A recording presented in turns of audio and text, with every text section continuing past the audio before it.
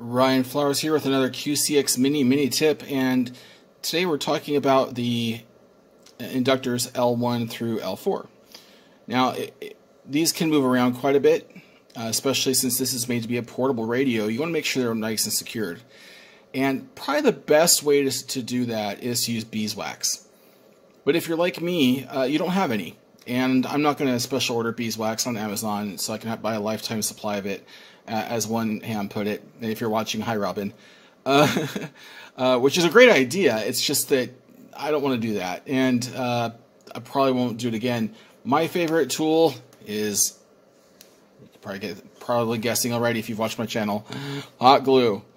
And so I'm just gonna dab some hot glue on these, and uh, let's see here, get this little stand out of the way. And the trick is to not use too much just get some on there. Down there at the base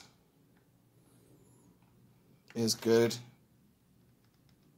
Because that's where the action happens really anyway.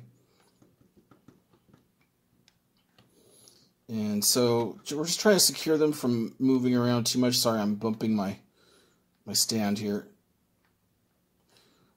And there's no need to really, you know, goober it up with tons of uh, of it. And T1, I'm not going to worry about it. It's not going to move around. And uh, may as well go ahead and do L4 while I'm at it.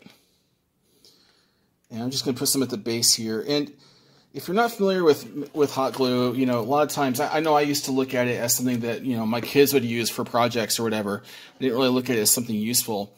And then it turns out that all that stuff that I had a hard time disassembling uh, that was black and I couldn't figure it out, it was black hot glue. You can buy black hot glue sticks.